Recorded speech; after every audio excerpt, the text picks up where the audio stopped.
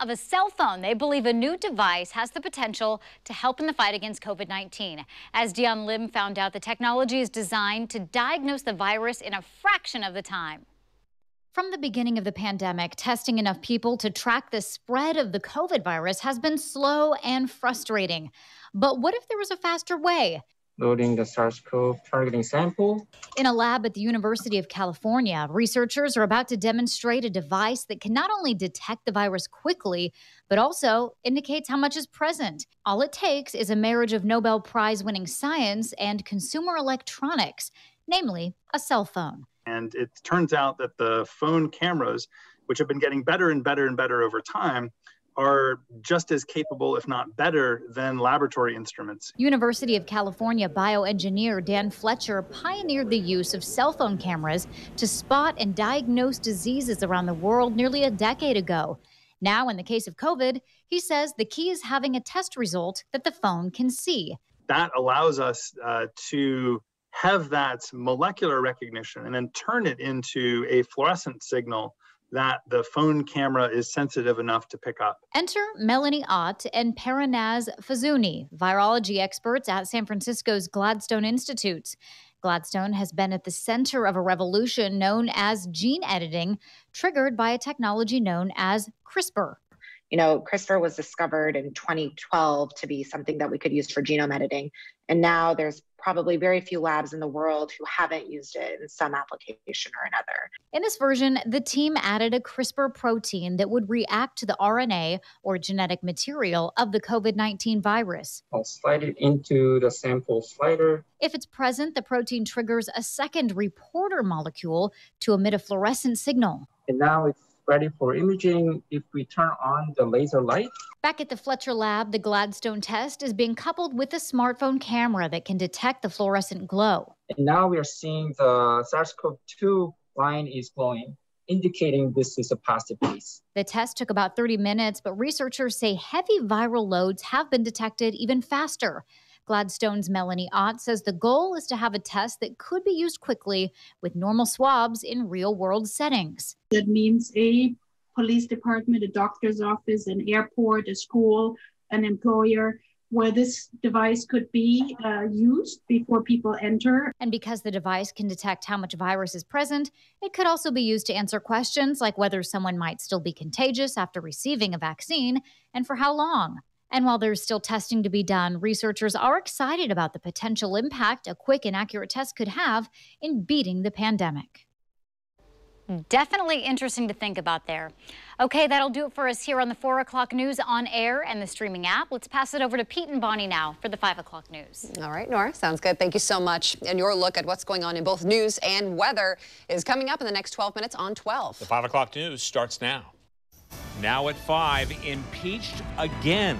President Trump makes history as the only president to be impeached twice. His message to the nation after the vote. Plus, a January storm creates a mess across Oregon. A family races to escape as a mudslide wipes out their home. He was on the stairs as they collapsed. I'm trying to help get me out. A major Portland artery blocked, and right now the effort to find a driver caught up in a major mudslide. Team coverage in the next 12 on 12. Good evening and welcome to the 5 o'clock news. I'm Pete Ferryman. And I'm Bonnie Silkman. Thanks for being here with us yet again for another busy night of news. Tonight, we can tell you for the first time in history, a U.S. president has been impeached twice. That's just one big story we're following right now. Now, today, the House of Representatives made that historic decision. It happened just hours ago, one week after the deadly riot at the nation's capital and one week before the presidential inauguration. You see the Capitol there on the left side of the screen. We're also following what's happening there on the right side of your screen, closer to home, where we're seeing fallout from heavy rain and wild weather that hit our region. This is a live look from Air 12 at this hour on the right there, where crews are searching for a driver believed to be swept away in a landslide in eastern Multnomah County. So scary. And just listen to this. A family in Astoria, Astoria had to get out of their house fast when a mudslide pushed their home right off of its foundation. Look at that damage. They said they knew it was time to get moving around 3 o'clock this morning when they could hear a cracking sound and glass breaking. Fortunately, everyone is okay. hard to imagine what that really mm. would have sounded like, right? In the Portland metro area, slides are blocking critical roads. Look at this uh, West Burnside, where the city says a slide will keep that road closed through the weekend.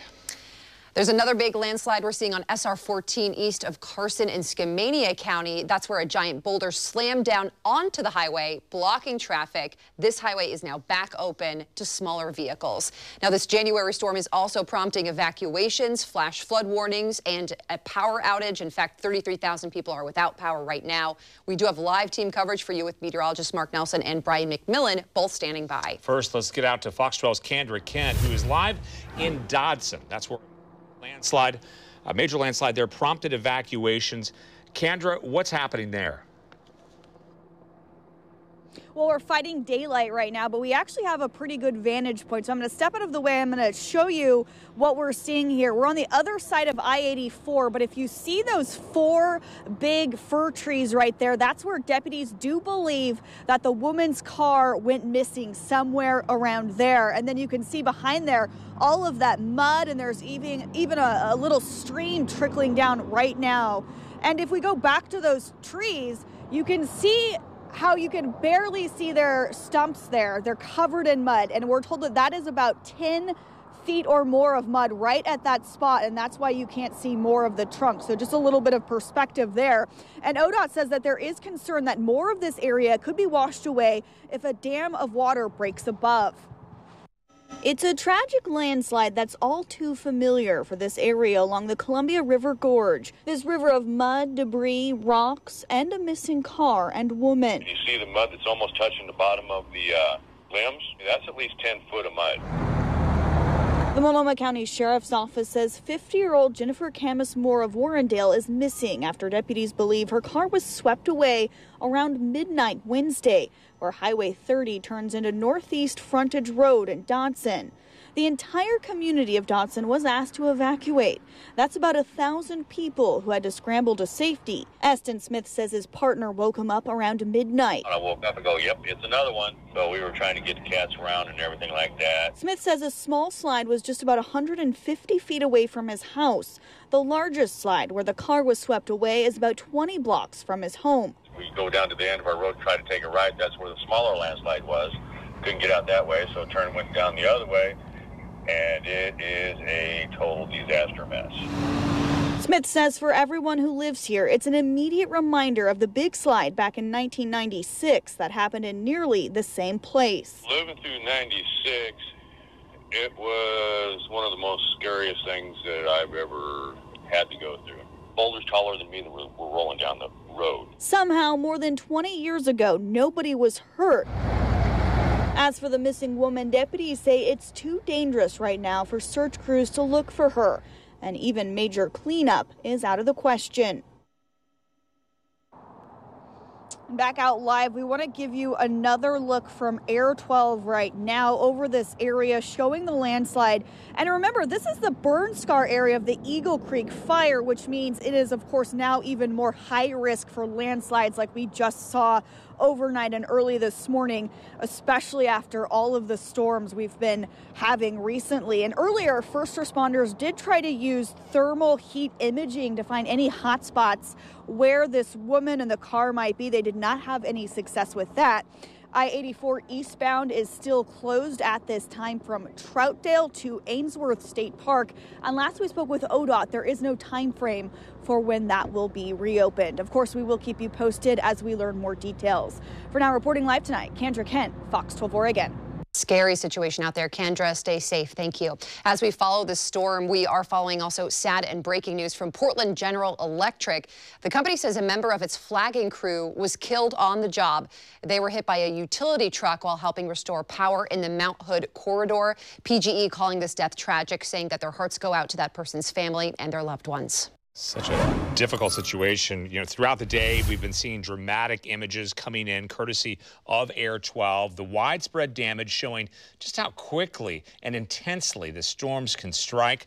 Fox 12's Brian McMillan has been monitoring some of the images throughout the day as they've come in. And Brian, you and the rest of the Fox 12 weather team, you, you predicted that we could see trouble like this with the, you know, the burn scars, the heavy rain, the erosion. Exactly. You know, out there in the Dodson area, of course, you had the Eagle Creek fire uh, out in that location, and uh, you know those areas are prone to landslides. And while things are dry out there right now, the damage is certainly done.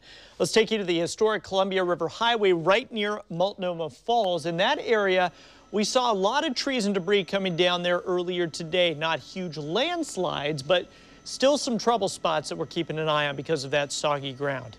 Air 12 flew by a very active Multnomah Falls. Kind of a beautiful shot out there with water gushing. And uh, there's these images from the Mount Angel area. There they are, courtesy of a Fox 12 viewer. A fallen tree crushed a car there. Other trees pulled down wires, leaving neighborhoods in the dark. And there's also this dash cam video in the late, uh, late this afternoon from a uh, Clackamas County Sheriff's Office.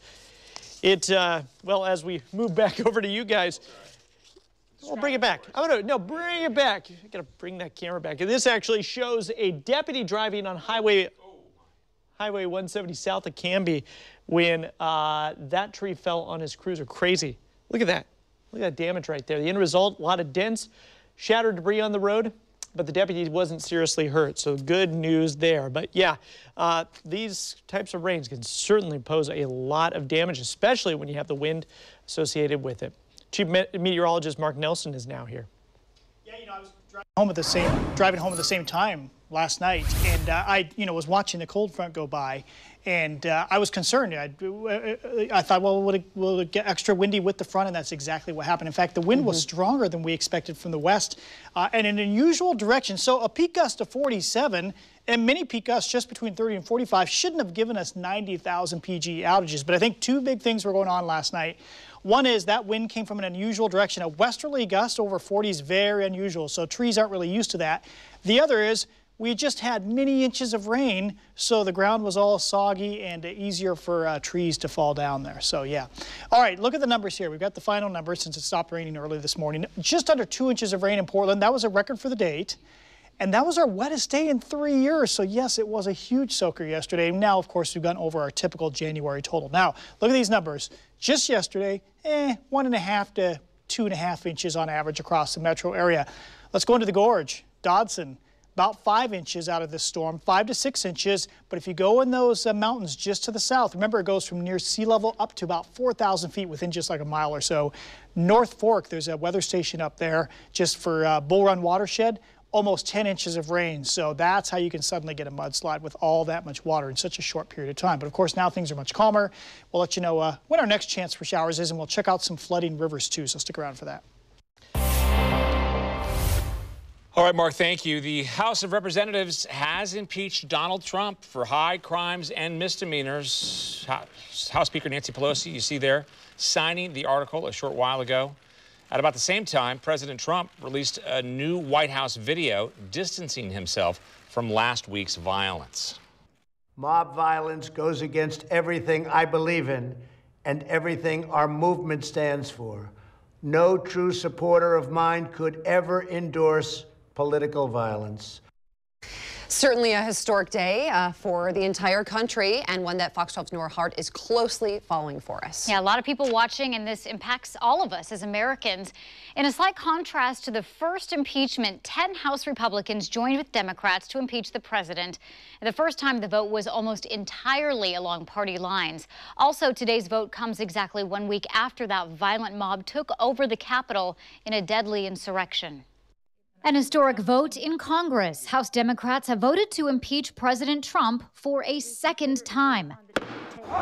Exactly one week after that deadly siege on the Capitol, a bipartisan majority in the House impeached President Trump on one count inciting an insurrection. The President of the United States incited this insurrection, this armed rebellion against our common country. I cannot think of a more petty, vindictive, and gratuitous act than to impeach an already defeated president a week before he is to leave office. President Trump denied responsibility for the riot. Statement from the president I urge that there must be no violence, no lawbreaking, no vandalism of any kind. This is not what I stand for. Unlike President Trump's first impeachment in 2019, this time a handful of Republicans voted with Democrats to impeach. Now, my vote to impeach our sitting president is not a fear based decision. I am not choosing a side, I'm choosing truth. It's the only way to defeat fear. Yet most House Republicans argue that impeachment will ultimately do more harm than good. A vote to impeach will further fan the flames of partisan division. Although the House has the power to impeach, it's the Senate that holds a trial and can ultimately remove Trump from the presidency and potentially bar him from ever seeking office again. Senate leader Mitch McConnell's office says he will not bring the Senate back before January 19th. That means any trial likely will not take place until President Trump leaves office. Live in studio, Nora Hart, Fox 12 Oregon. All right, so much to cover. Nora, thank you so much. That does wrap up our 12 minute look at some of your top stories right here on Fox 12. And we have much more to get to, including Oregon Governor Kate Brown's trip to the vaccination clinic in Salem. What she's saying about the new plans for more widespread vaccinations and just how many doses Oregon gets per week. And under the governor's new plan, kids could be back in the classroom in the next two weeks. Hear what Portland Public Schools is planning to do. Plus, violence in the capital is having an impact on the president's personal holdings. The city that just cut ties with a Trump organization and how much money that could cost.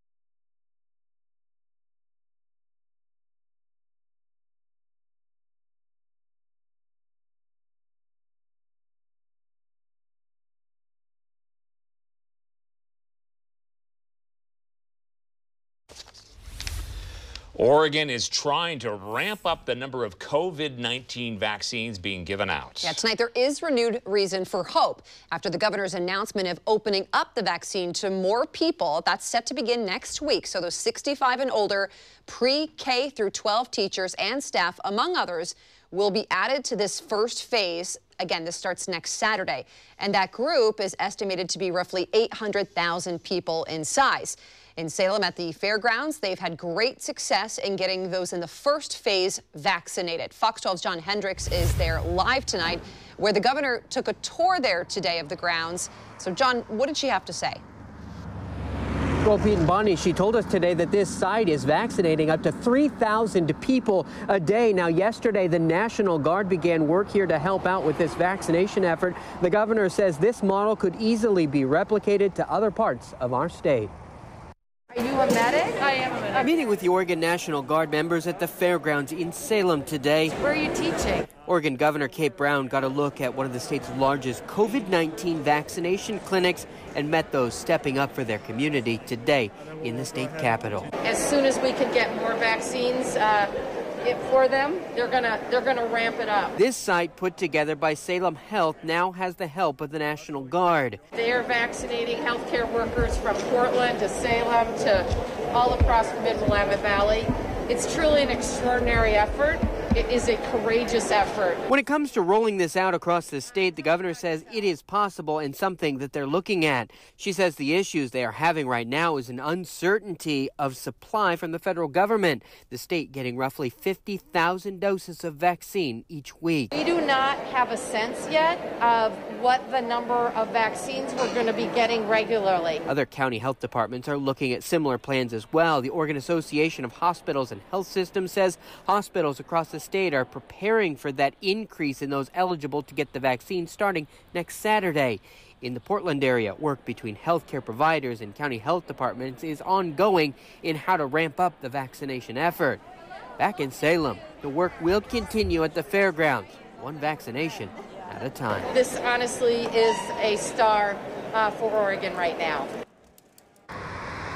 The governor says the state is working on a ramped up vaccination plan. She told us today that the plan right now is to release it on Friday. Reporting live tonight, John Hendricks, Fox 12 Oregon.